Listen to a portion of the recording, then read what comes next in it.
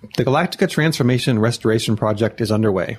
Rosie the Riveter is now Six the Spackler, painting from a palette of thick, oily paste. Adama observes the application of the Cylon goo being smeared to the beams of his ship.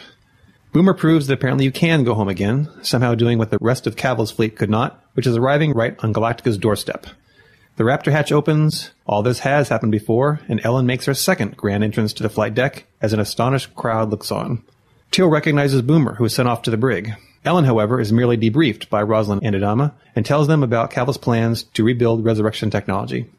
Final Five Enlightenment apparently hasn't changed Ellen very much. She's still drinking and still horny. She and Tigh are reunited and it feels so good. At the same time, Ellen is sweeping drinking glasses from a table to make room for an impromptu frak.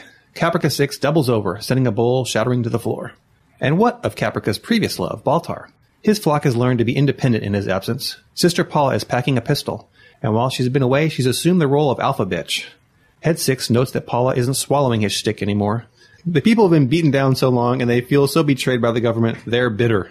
Bitter doesn't begin to describe Ellen when she finds out Tigh got Caprica 6 pregnant.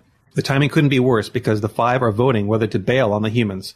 Under their cockamamie voting procedure, the majority vote of three gets to decide everyone's fate. Tory and, for some reason, Tyrol vote to bolt. Tigh is a nay, and Anders' absentee ballot is marked against the motion, so Ellen is the swing vote. In a bid to regain clout with his followers, Baltar proclaims they will provide food to the needy civilians. Paula is skeptical, and indeed Baltar's food drive is interrupted by mean old bullies from the Sons of Ares who have bigger guns to go with their bluster. Drama queen Ellen has elevated her performance to mommy dearest level, icily revealing to Caprica her romp with Tigh and making a veiled threat to Caprica and her baby. Bad mommy. Adama finally tires of repeated visits to the stairwell to watch Goop dry and gets plastered himself with Tigh. Ellen is already jealous of Caprica, but Tigh's close relationship with Adama puts her over the edge and she announces her vote to leave. Caprica immediately begins having issues with the baby. Suddenly regretful, Ellen tells Tigh to pronounce his love for Caprica. All you need is love. Love is all you need. The singing Cylons take up the chorus. He loves you, yeah, yeah, yeah.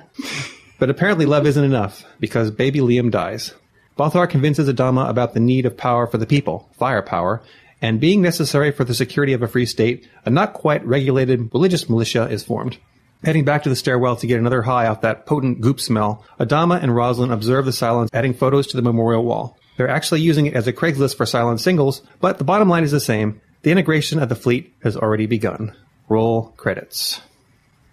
I didn't even think about it. How in the hell did Boomer find the fleet? That's a good question. I didn't even think about that until you just said it. But I was like, yeah, wait a minute.